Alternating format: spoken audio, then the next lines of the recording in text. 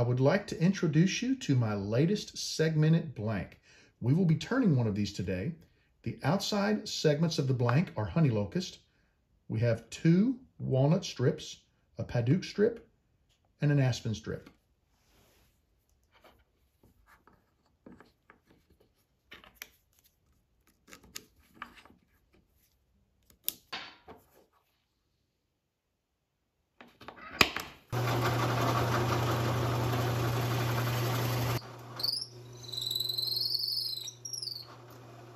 I've already roughed up my tube. Let me clean any dust from the drilling process out of the blank.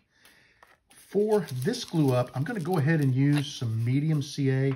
Normally, I prefer to use uh, epoxy, but we are prototyping and I am kind of in a hurry to get this one turned so I can see what it looks like.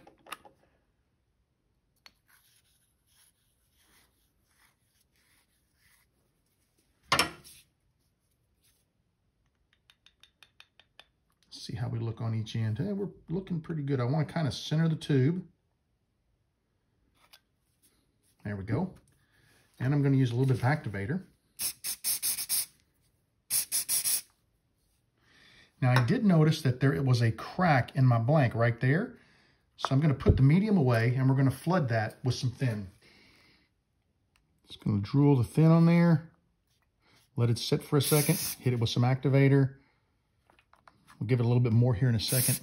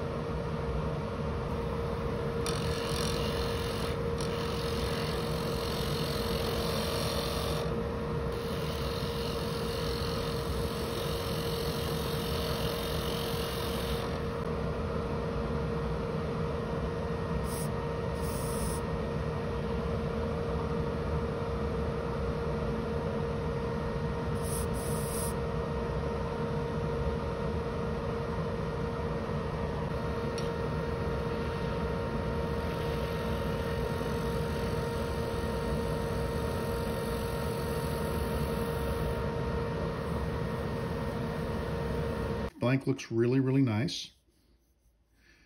You can see an area there where I had to keep uh, CA glue on there to keep from losing it. I'll probably hide that behind the clip. Full disclosure though, this is not the original blank I started with. This is the original blank.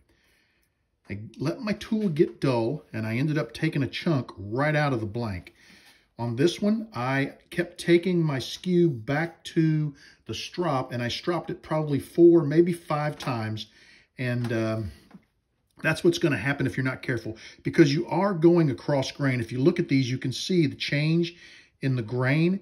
And if you're using any type of tool and it is dull, you're just going to rip the grain right out of there. So that stinks that I lost that blank.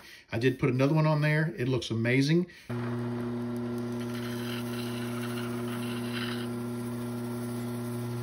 Going to kind of give you a little bit of a peek at what this blank's going to look like right here with the CA on it.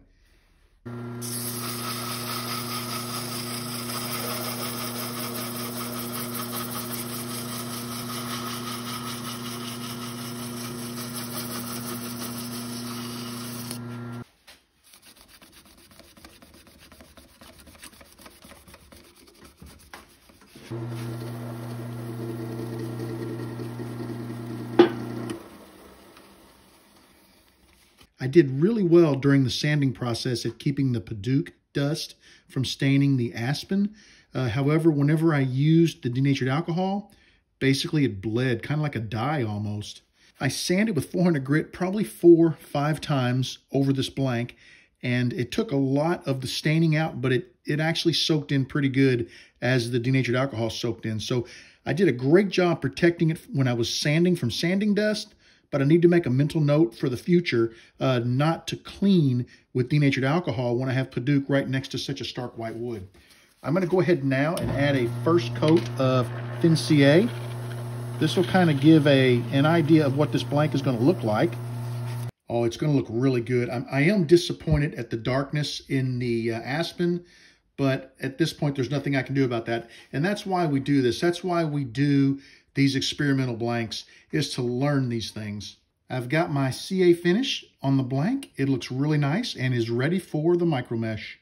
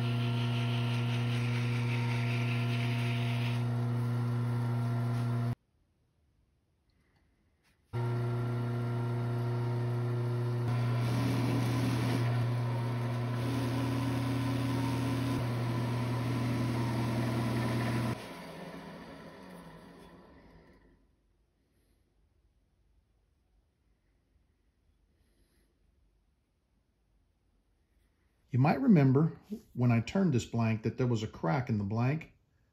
You can see it right there at the end of the blank. It's just so faint. It really blended in well.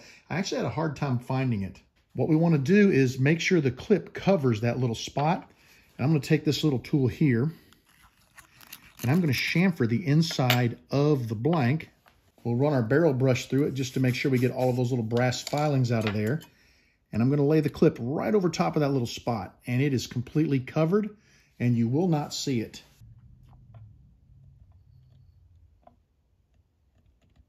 There we go. Sometimes when you press these caps in, the uh, the cap will want to kind of move a little bit and you want to try to keep it going as straight as possible because if you don't, it can stretch the tube, which will in turn break the blank, cause a crack in it because these blanks are so um, just, just there's not much meat between the tube and the outside of the blank. But man, that looks fantastic. Let me go ahead and flip it around.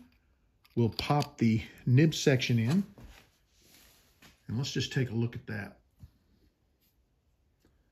That is a gorgeous blank. I am just pleased as can be with the blank. I will say that the next round of these that I make, I think I'll make these about half this width and maybe position them a little more toward the top of the blank I think that would look really cool. It's, it's just almost too, too thick, but I really like the blank. I'd love to hear what you think down in the comments. I really hope you enjoyed this quick little video. I was making these blanks. It was an idea that I had, and I want to give it a try. I am super excited with how they turned out. It just The blank looks amazing. The pen looks awesome, and I don't think I could be happier with it. it everything worked out. It was a perfect storm. I would really like to thank you for joining me in the shop for this pen. I want you to know that you are always welcome in my shop. Come back and see me again real soon and have a great evening.